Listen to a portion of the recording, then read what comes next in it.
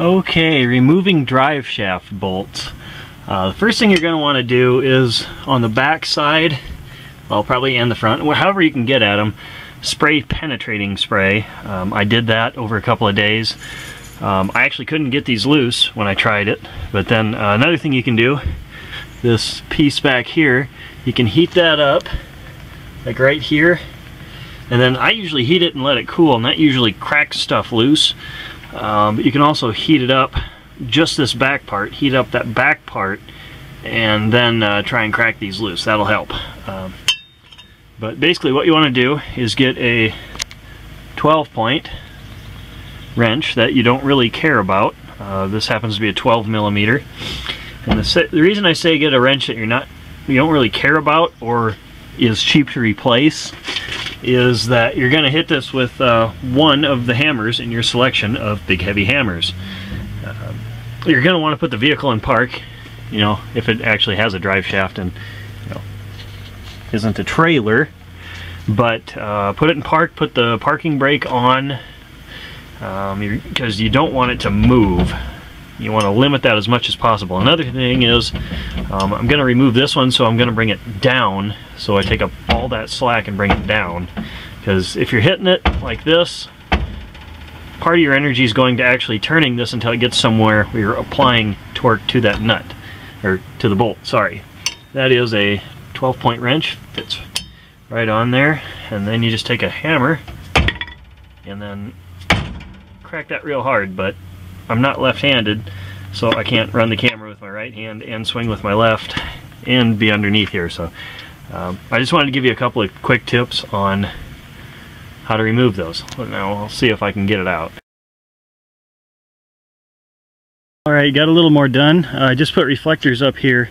I didn't really care to run running lights because it's it's so close to the truck. Um, if it was a longer trailer, I would. Um, what I've got is there it is. On the ground over here. Really well prepared, aren't I? Um, I got a Y harness. It was about 15 bucks. Uh, 20 foot long wires, which was plenty long for this. And what I did was I just took them out, untangled them, and I took them in through the window of the truck. And I took my meter to them to make sure I was getting it right. And um, I used the brake and the blinkers and everything. Yellow is the left blinker or stop.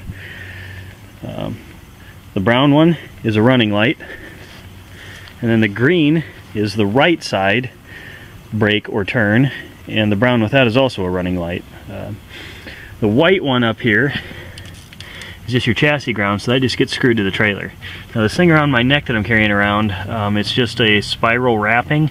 A lot of people will just electric tape their wires and I kind of advised against that because if something goes wrong you got to take off yards and yards of tape to fix it.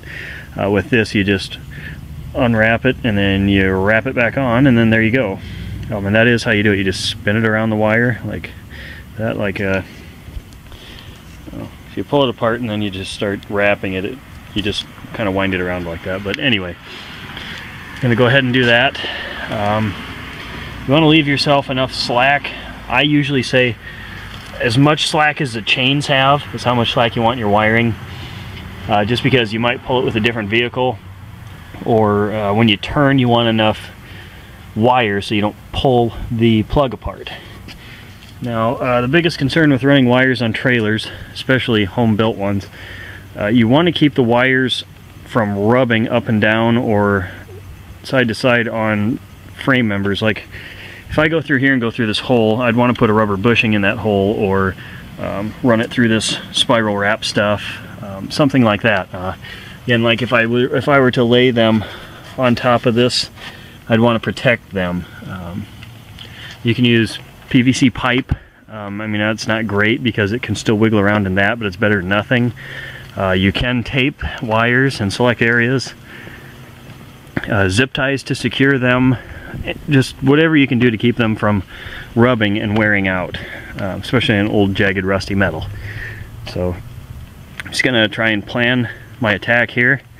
Um, I don't think I'm gonna split it down both sides. I'm probably gonna go all the way straight back with both sets of wires on one side, then split one off over this way, which I can do because I've got enough wire to do it. Um, if you have a long trailer, you're to have to split it down each side, um, like if you have a very wide trailer anyway. So um, before you start cutting, run the wires to where you think you want them to go, make sure it'll all fit. And I'm going to use this on the hitch side to keep it all nice, tight, and bundled together. So I'll show you that when I'm done. Okay, what I did was I just cut the uh, factory wiring off, as you can see there. The bulb is incredibly hot. Um, anyway, that factory wiring I just cut off. Um, these are just temporary till I can get an actual automotive style crimp connector on there. But uh, just grounded it, with the screw right there, and um, yeah, I just didn't want to mess around with trying to connect to the factory wiring underneath, so I just did this. And uh, I'll go ahead and just slap it all back together. I know both sides work. Um, tail and turn work, so uh, yeah, just tap the brakes, make sure that works, and we're good to go. Just slap the tail lights back in. All right, one more quick note. The license plate lights, uh, I just spliced into the running light. Um, it doesn't matter which side, either one, but I just spliced that into there and then grounded it to the chassis. So all the lights work, they're back in. That's pretty much project accomplished for this. Um, unless I think of something else to do. Uh, last thing, um, before I call this trailer done. Uh, I do need to take it on a road test, but as you can see, got that spiral wrap stuff protecting it. Um, I just ran it through here just uh, just a nicer transition. I don't know.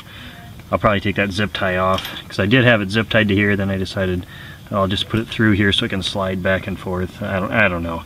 I'm not sure about this yet, but I do like having this on here so I don't lose the safety pin.